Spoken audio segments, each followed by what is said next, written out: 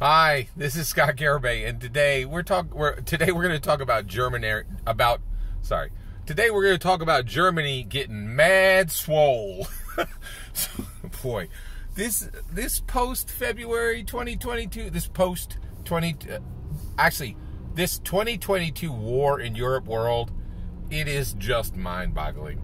There is data going into my head that is it's hard to process it. It's so shockingly outlandish. It just all right. So pre 2022 war in Europe, I didn't know what what countries spent on their annual military spending. Why would I? Right? Like I had a strong U.S. military that I believe would protect us if a global villain arrived. Right?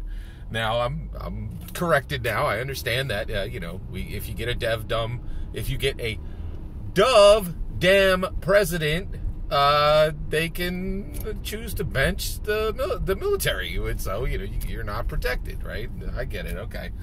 All right. So you know, so I'm just putting some facts in my head.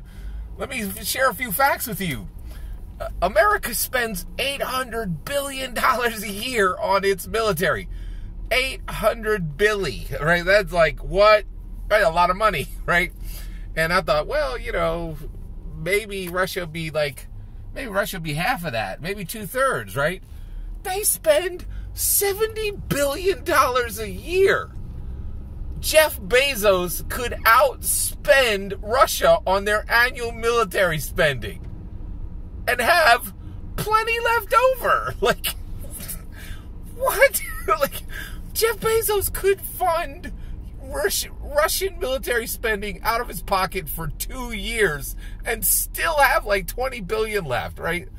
I think one maybe one of the reasons why Putin's you know savagery is so high is he's so embarrassed, right? Like this is like that's it, 70 billion. Like that's like the cheese budget for the Pentagon. Like it's are you kidding me? Like uh, what? Ah, right. So get this. Germany had felt very safe uh, with the new shape of the world in the last couple decades, right? And they had massively reduced their spending to where their military spending where it was underneath Russia's, right? Vladimir, it was underneath Vladimir Putin's annual spend on his military. Well, uh, Vladimir Putin Vladimir Putin says we roll on any sovereign nation we want whenever we want. He just he put all of Europe. These aren't my words. Like there, this is being routinely said.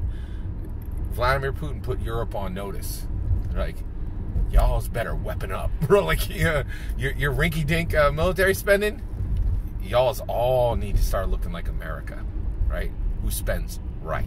We don't cheap it, right? Like like we ain't got no cardboard tanks. Right? Like boy, 70 billion? It's embarrassing. Like one one of our, one American billionaire could fund you know Vladimir Putin's entire military spending out of pocket for 2 years and have 20 billion left. Like I'm like, are you kidding me? That like I think I think one of the reasons why Putin is so just frustrated and angry right now is he's just embarrassed because I think the world's like just seeing a lot of facts that are very embarrassing for him, right?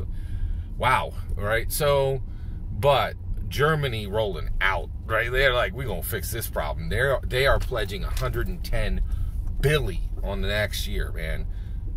Germany gonna fix the problem, right? They're gonna be like, we're gonna come correct. We're gonna get some real weapons up in this John, right? And now, should that worry us? No, that doesn't worry me. I, you know, I know Russia, Germany had some problems, like in the 1940s.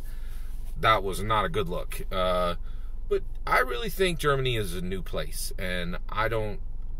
It's a new place. I don't. You know, the world has moved on. The people in Germany are not those people, and so this doesn't worry me. Germany is an ally, and I wish them well. And I think increasing their military spending to 110 billion is a very good idea.